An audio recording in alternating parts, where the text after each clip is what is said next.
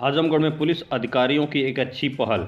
Police उप महानिरीक्षक आजमगढ़ परिक्षेत्र आजमगढ़ सुभाष चंद्र दुबे, पुलिस अधीक्षक आजमगढ़ प्रोफेसर त्रिवेणी सिंह, अपर पुलिस अधीक्षक नगर पंकज कुमार पांडे, सहायक पुलिस अधीक्षक क्षेत्राधिकारी इलमारन भारी फोर्स द्वारा शांति व्यवस्था बनाए रखने हेतु थाना नगर कोतवाली से चौक, तकिया, पहाड़पुर सिबली कॉलेज, ब्रह्मस्थान तक फुट पेट्रोलिंग की गई।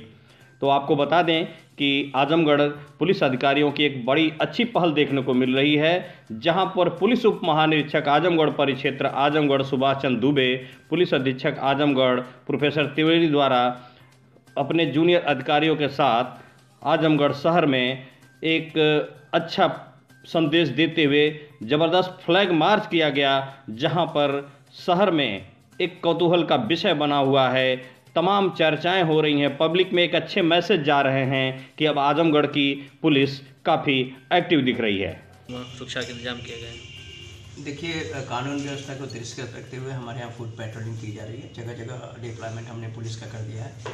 करीब चौंसठ बिंदुओं पे हम लोगों ने पिकेट्स लगाई हुई है और सारे अधिकारी मजिस्ट्रेट इन लोगों का एक रूट चार्ट तैयार कर दिया गया उस पर मोबाइल है।